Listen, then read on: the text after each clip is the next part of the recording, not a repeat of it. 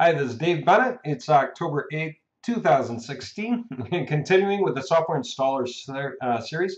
So this is going to be about managing databases. So we did these, managing subdomains and everything else here. Now we're down to here, manage databases. So sometimes um, when you're on a website, you install some things and then you want to install it, um, you do different things and eventually wind up with a bunch of databases. Maybe you deleted the files uh, for different things because you're done with them. They're not doing what you want, or they're outmoded, or they're just useless, or who knows what. Uh, but you had to install these databases. So you just like to go ahead and get rid of the databases you're sure you don't need anymore, or just get rid of a bunch of databases so you can kind of start over. Or if you have a limit on the number of databases you're allowed in the first place. Well, check this out right here. Okay. This is a database, and that is the user that currently is assigned to that database. So if I hit this, I am deleting both the database and the user. All right, I'll just go ahead and do it anyway. and so this is going to all be done in a moment. Okay, now what's that mean? Remember our Chicago roofers example? I wonder if this is going to work now. Let's see. No, of course not. Let me just go ahead and show you. Okay, Chicago roofers. Remember what I said, that the files have to connect to the SQL database. Whoops, connect rush. Okay, just uh, for this domain. All right, and there's nothing here anymore, right? Because it's looking for the database, and there's just straight nothing here to work with, okay? Uh, and that's what happens when you get rid of a database. uh, you wind up dealing with uh, deleting the file. So long as I deleted the database, I may as well also make sure real quick that I got rid of the subdomains and the files associated with it. In other words, get rid of the whole thing. Okay, and that's what it takes to get rid of a whole program. You get rid of the files and the subdomain and you delete it. Okay, and go back. Uh, manage databases. And then if I wanted to just like show some something else, there you go. Some of these have one set.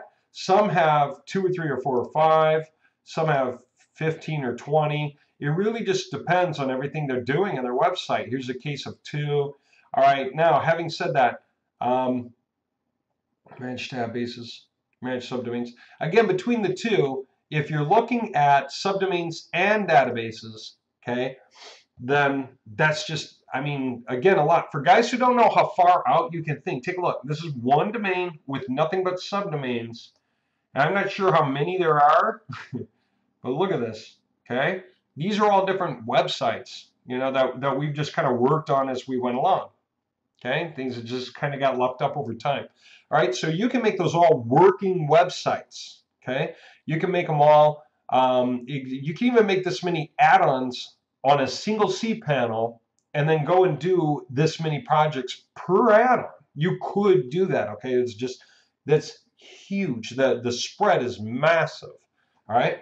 And those of you guys who know enough about SEO, if you're going to create several websites, you can have some backlink the others, right? So you can create a stack, then create another stack over here and have the related ones over here connect to the related ones over there to give the related ones over there more link juice so that they can have higher domain authority, higher page authority, so they so that you can create a bunch of uh, votes, you know, anchor text backlinks from one to the other, okay, to drive the other one up. Use one like a slave to bolster up the master, okay?